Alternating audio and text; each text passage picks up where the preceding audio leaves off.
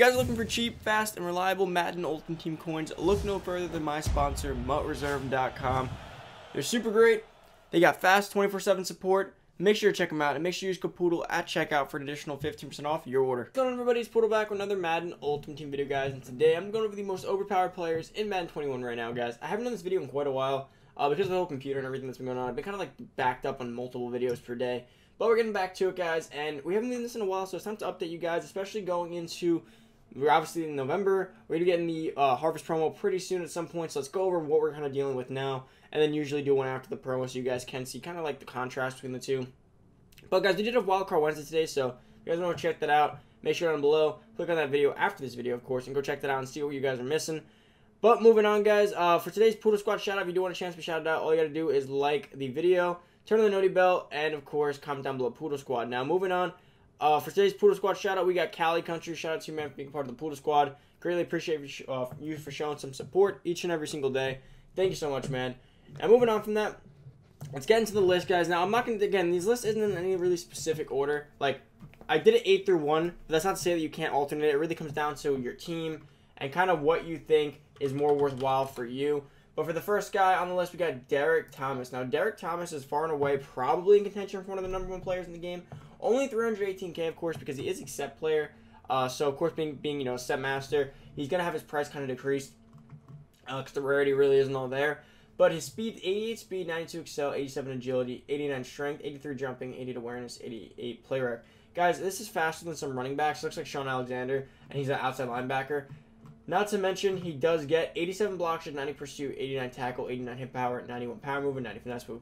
In my opinion, the way you make this card a demigod is going to pretty much be putting on run stuff. You can get his blocks to above a 90, you're, and you power him up, you're dealing with an above 90 hit power, an above 90 tackle, an above 90 pursuit, above 90 block shed, above 90 pass rush with an 89 speed and a 93 acceleration, guys, and a 90 strength. This card's literally a god if you're able to go ahead and get his uh, block shed up. I mean, even though the block shed is still going to do damage, it just won't feel the same as it usually will if you do get that up. Coming in number two, guys, we have Terry McLaurin.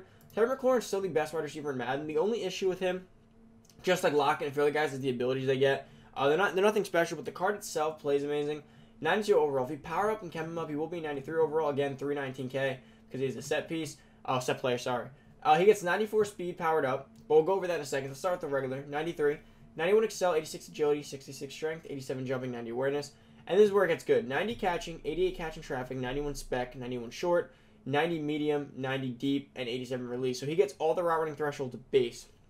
Now, if you chem him up and you power him up, and you put on, um, I don't know if you want to go play fake or you want to go go deep here. It really depends on your play style, but whichever one gets catch and traffic or release, go for either one of them. If you can get those up to 90, he gets even better. Route running already. So the catch and traffic and release is just come like you know cherry on top.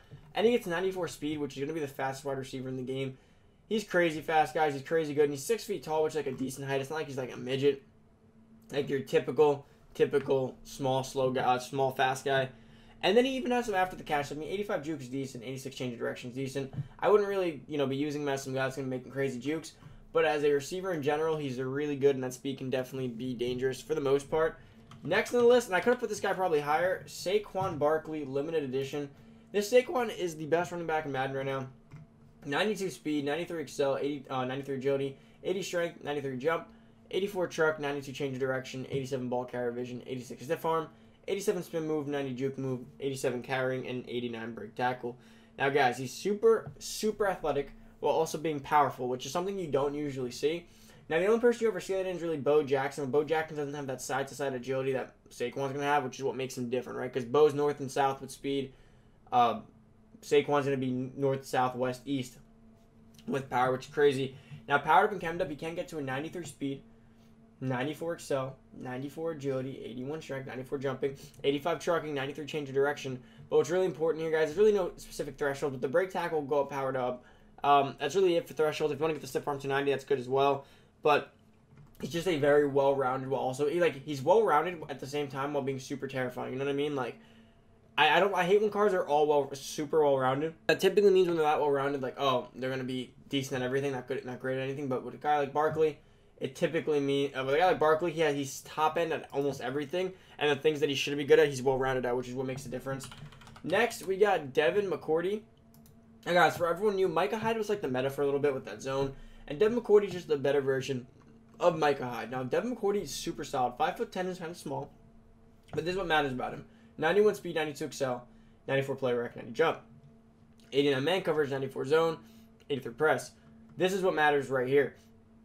And honestly, the hit power is not that bad. And here's the thing with Devin McCourty, as this comment says right here, you can see that is the thing with McCourty. McCourty's always been kind of hurt because they always give him bad speed and bad hit power, like um, Earl Thomas. Now the hit power is accurate, but the speed isn't accurate. Now, now, now, 91 is pretty accurate here. Now, here's the thing: you power up and chem him up, he gets 92 speed, which makes him one of the fastest safeties.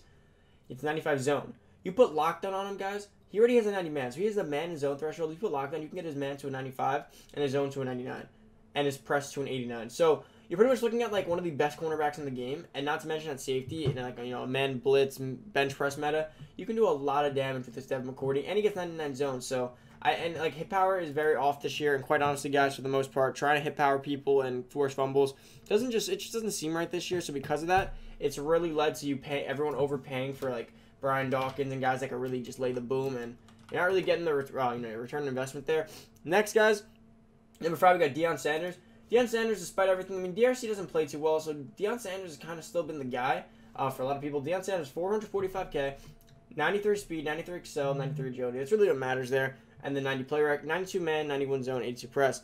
Press isn't as bad as it usually is, so that's not horrible. And then 82 catch. Now, if you guys don't know, specific catch thresholds trigger specific animations. So I feel like for a cornerback, having an 80 catch is super overpowered, and that's pretty much why Deion's able to do that crazy stuff that he's able to do uh, when he when a ball gets near him.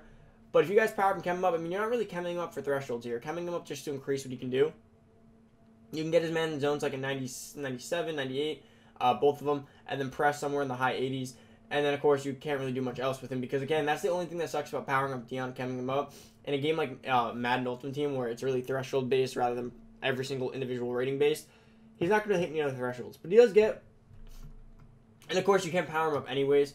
And, you know, like, I'm, I'm pretty much talking to the chemistry here, but what he is is kind of what he is there. So that's always been the thing with Deion. He really can just rock and base most of the time, which is usually a super cheap aspect of him. Uh, next, guys, Darren Waller. Darren Waller is crazy still, and he's still the best tight end, so you still got to rock with him.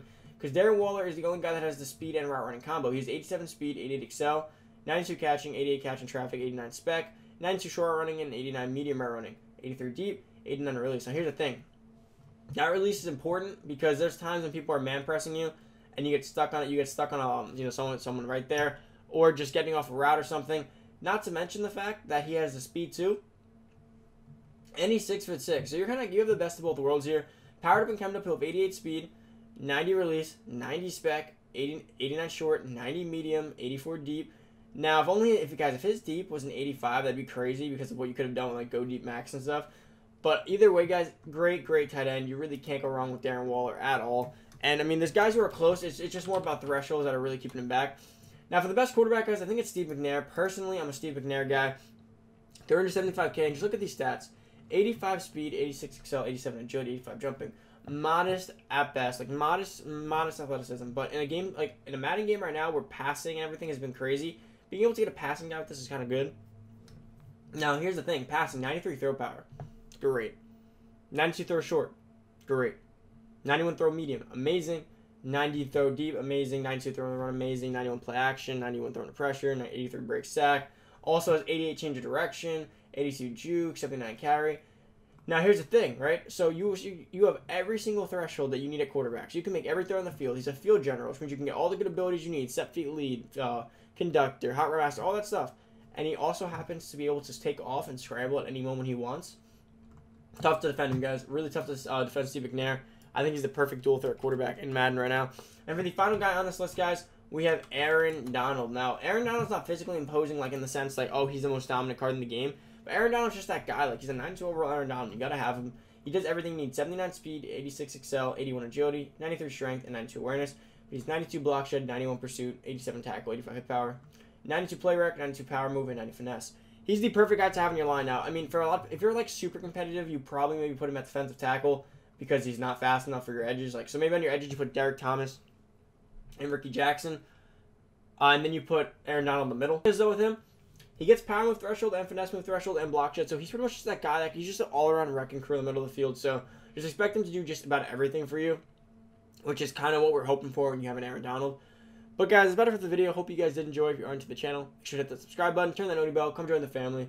Give this video a big thumbs up as always. If you haven't already, comment down below Poodle Squad. And that's about it, guys. Enjoy the rest of the day. If you need coins or anything to pick up these cards, head over to my reserve down below. The link will be down below in the description. Um, they've been discounted even more on top of the Halloween sale, so take advantage. Use code Poodle for 15% off. Thanks for watching. I'm out. Peace.